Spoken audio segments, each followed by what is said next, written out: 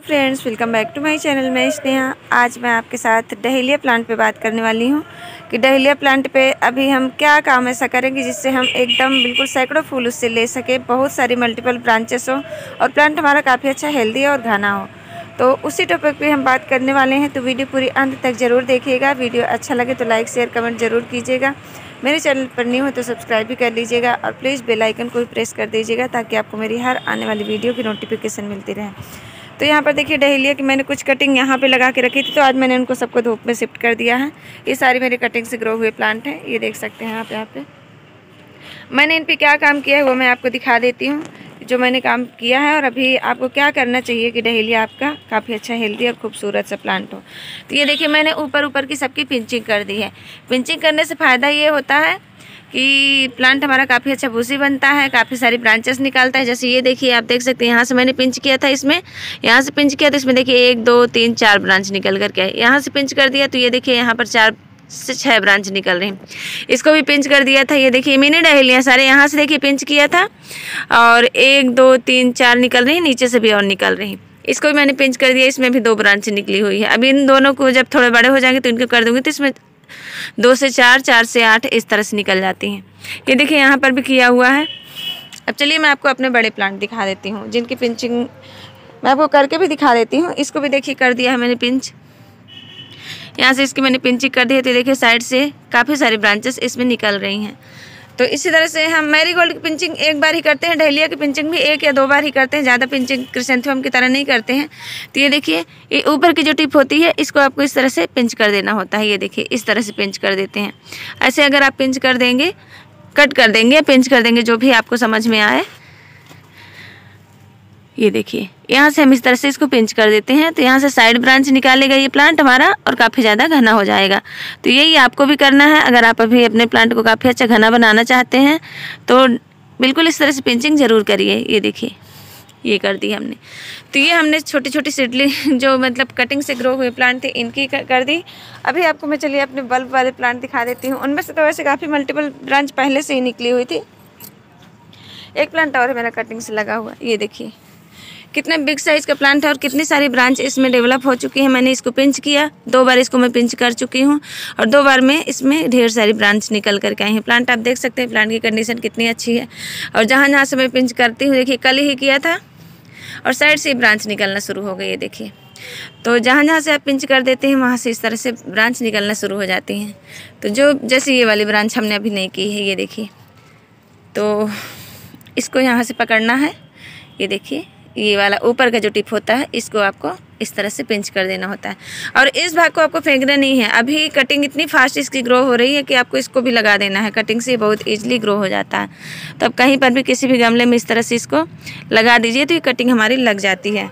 तो कटिंग आपको वेस्ट नहीं करनी है। आप छोटी से छोटी कटिंग भी इस समय इसकी ग्रो कर सकते हैं। इसके बाद ये देखिए, हमारे बल्ब से लगे हुए प्लांट हैं, जिनकी मैंने सभी की लगभग पिंचिंग इनकी भी कर दी है। कुछ ब्रांचेस बची हैं, देखिए, यहाँ से की थी, तीन चार दिन पहले की थी, और देखिए, ये देखिए साइड से ब्रांच निकल रही इतनी सारी ब्रांचेस निकल रही हैं ये देखिए, यहाँ से यहाँ से भी, ये देखिए, यहाँ से भी, यहाँ से भी। तो देखिए, यहाँ से पिंच किया था और इसमें चार ब्रांच एक साथ निकल रही है। एक ब्रांच पे चार ब्रांच निकल रही है।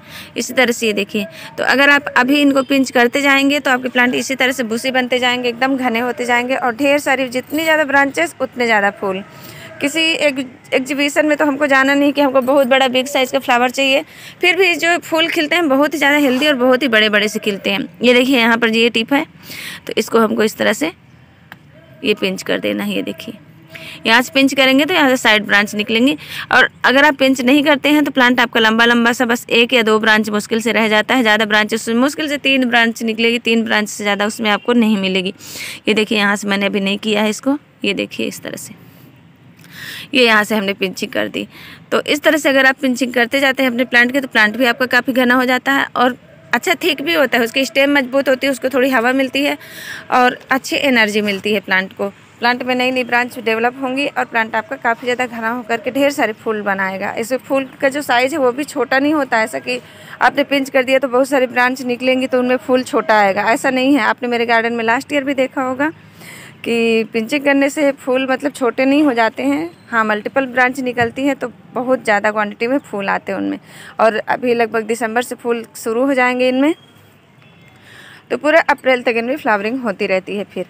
तो ये चीज़ें अगर आप करना चाहते हैं तो ज़रूर करिए, क्योंकि आपके प्लांट भी इसी तरह से काफ़ी अच्छे हेल्दी रहें ये देखिए हमने कर दिया पिंचिंग और इनको हम फेंकेंगे नहीं, इन कटिंग को भी हम सबको लगा देंगे। तो जितने भी ब्रांच हैं, आप एक बार ज़रूर उनको सबको एक बार कम से कम पिंच कर लीजिए। एक बार पिंचिंग करने से प्लांट आपका काफ़ी ज़्यादा घना हो जाएगा मतलब भर, जितना आपको चाहिए होगा। तो ये देखिए, यहाँ से जितनी भी ब्रांच निकल रही है, मैं सभी की पिंचिंग कर लेती हूँ। तो यही आपको करना है। ये देखिए, यहाँ से आप चाहे किसी सीजर से भी कट कर सकते हैं या तो भी हाथ से भी इस तरह से, बस इसको तोड़ना होता है। ये देखिए ये देखिए, यहाँ से हमने कट कर दिया है और अभी इसमें और ज़्यादा ब्रांचेस हो जाएँगी। जो बहुत ज़्यादा छोटी ब्रांच हो, आप उनको बिल्कुल थोड़ा सा ही कट करिए। ज़्यादा उसकी बस दो पत्तियाँ लेकर के आप पिंच कर दीजिए, जैसे छोटी सी है। ये देखिए, बस इतनी हमने तोड़ ली इसकी। तो ये एक बार हमने सारे ब्रांच की इसकी पिंचिंग कर ली और उसके बाद ये देखिए, ये छोटी सी ब्रांच हमने ऊपर की कट कर ली। यहाँ का भी दिखा दूँ इधर। ये देखिए तो एक बार हमने पूरे प्लांट को पिंच कर दिया। अब दोबारा इसकी पिंचिंग नहीं करनी पड़ेगी। तो ये एक बार में ही इतना ज़्यादा घना हो जाएगा कि खूब सारे, ढेर सारी मल्टीपल ब्रांच इसमें निकलेंगी और आपका प्लांट काफ़ी ज़्यादा घना हो जाएगा, काफ़ी खूबसूरत से हो जाएगा। ये देखिए, मेरे बिनेचर डहेलिया, ये तो अपने आप में ही घना हो जाता है। इसकी पिंचिंग वैसे ज़्यादा नहीं करनी पड़ती, लेकिन फिर भी फ़र्स्ट टाइम अगर आप इसको लगाते हैं तो एक बार इसकी पिंचिंग आप ज़रूर कर दीजिए। ये लास्ट ईयर मेरे गार्डन का लास्ट ईयर का प्लांट है। लास्ट ईयर से भी और पहले का ये बस इसी गमले में पड़ा रहता है और जब मन होता है इसका तो ये ग्रो हो जाता है। और ये सारे प्लांट मेरे इसी तरह से हैं। ये गमले में ही मैं इनको छोड़ देती हूँ तो जब इनका सीज़न आता है तो ये अपने आप ही इनमें ग्रो होना शुरू हो जाते हैं। और उसके बाद मैं इनको फर्टिलाइज़र दे दे देती हूँ। फर्टिलाइज़र में डीएपी गोबर की खाद या फिर वर्मी कंपोस्ट बोन मिल ये सारे फर्टिलाइज़र दहलिया प्लांट को बहुत ज़्यादा पसंद है तो आप इनमें से दीजिए फर्टिलाइज़र सारे ही। साथ में फंगिसाइड का स्प्रे भी करते रहिए और इंसेक्ट वगैरह के लिए इंसेक्टिसाइड का स्प्रे करिए तो फंगिसाइड में आप कोई सा फंगिसाइड लेकर के स्प्रे कर सकते हैं।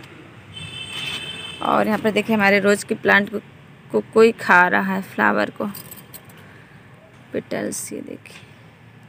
कुछ तो लगा है इसके अंदर। बहुत प्यारा सा फूल खिलने वाला था, लेकिन देखिए सारे में छेद कर दिया उसने। और यहाँ पर देखिए कितने प्यारे प्यारे से फूल खिलना स्टार्ट हो गए हैं रोज़ प्लांट में। तो इसी तरह से मैं केयर करती रहती हूँ और जो भी बताती हूँ आपको, मेरे, आपके सामने रिज़ल्ट भी होता है, ऐसा नहीं है। तो अगर आप अपने डहलिया को घना बनाना चाहते हैं और ढेर सारे मल्टीपल ब्रांच करना चाहते हैं तो आप इसकी पिंचिंग एक बार ज़रूर कीजिएगा। और फर्टिलाइज़र भी साथ के साथ दीजिएगा, अच्छी मिट्टी इसकी गुड़ाई करके इनको फर्टिलाइज़र दीजिएगा, गोबर की खाद दीजिएगा और वर्मी कंपोस्ट या तो फिर नहीं तो बोन मिल ज़रूर दीजिए और वर्मी कंपोस्ट ज़रूर दीजिए। बाकी आप इसमें सिंगल सुपर फास्फेट भी दे सकते हैं, डीएपी भी दे सकते हैं। डीएपी के चार या छः दाने आप एक प्लांट में डाल सकते हैं, बहुत अच्छा रिज़ल्ट मिलेगा आपको। तो चलिए इन कटिंग को भी मैं बता देती हूँ आपको किस तरह से लगाना है। तो यहाँ पर देखिए ढेर सारी कटिंग मैंने लगाई थी, परसों लगाई थी और देखिए सारी स्टैंड हो चुकी हैं, बिल्कुल मुरझाई नहीं है और सारी कटिंग लग जाएँगी। बिल्कुल इसी तरह की छोटी छोटी कटिंग है। मैंने कोई एलोवेरा जेल कोई रूटिंग हारमोन इनमें नहीं लगाया है। और यहाँ पर आपको दिखा देती हूँ किस तरह से कटिंग लगा तो कटिंग हम अभी ऐसे गमले में लगाएँगे जिसमें बहुत ज़्यादा तेज़ धूप ना लगे मतलब थोड़ी छाया रहे। तो देखिए एक पिटूनिया का गमला है, बाद में हम इसमें से निकाल लेंगे। अभी फ़िलहाल मैं इसमें लगा दे रही हूँ। तो ये देखिए साइड साइड से इस तरह से आपको कटिंग लगा देनी है। आप दूसरा गमला भी ले सकते हैं मिट्टी भरने में। थोड़ा सा टाइम लगेगा, इसलिए मैं जल्दी में इसी में आपको लगा के दिखा देती हूँ कि किस तरह से आपको ये कटिंग लगानी है। आप चाहे तो नीचे एलोवेरा जेल लगा सकते हैं और जल्दी फास्ट रूटिंग हो जाएगी। और पंद्रह से बीस दिन में इसमें रूटिंग हो जाएगी और आपकी बिल्कुल नई कटिंग फिर से तैयार हो जाएँगी। तो अभी आप कटिंग लगा सकते हैं, बहुत अच्छा टाइम है कटिंग के लिए। और जितनी जल्दी आप कटिंग लगाएँगे, उतनी ही अच्छी आपके गार्डन में फ्लावरिंग होगी। तो देखिए, छोटी से छोटी कटिंग भी हमने लगा दी। पत्तियाँ भी नहीं हटाई, जो नोट से पत्तियाँ, उसी नोट से ये ग्रो भी हो जाएगा। तो ये देखिए, इस तरह से हमने कटिंग को लगा दिया। तो आप भी इस समय लगा सकते हैं। तो बस फ्रेंड्स जो इन्फॉर्मेशन मैं आपको देती रहती हूँ, वो मैं भी अपने गार्डन में करती रहती हूँ ताकि प्लांट काफ़ी अच्छे घने हो। देखिए, सालविया को भी इसी तरह से मैंने पिंच किया है। और एक एक प्लांट देखिए कितना ज़्यादा घना हो रहा है। तो कुछ प्लांट ऐसे होते हैं जिनकी पिंचिंग करने से हमारे प्लांट काफ़ी अच्छे घने हो जाते हैं। तो यही चीज़ें हमको करनी होती हैं। तो आज के लिए बस इतना ही। मिलते हैं नेक्स्ट वीडियो में नेक्स्ट टॉपिक के साथ। तब तक के लिए बाय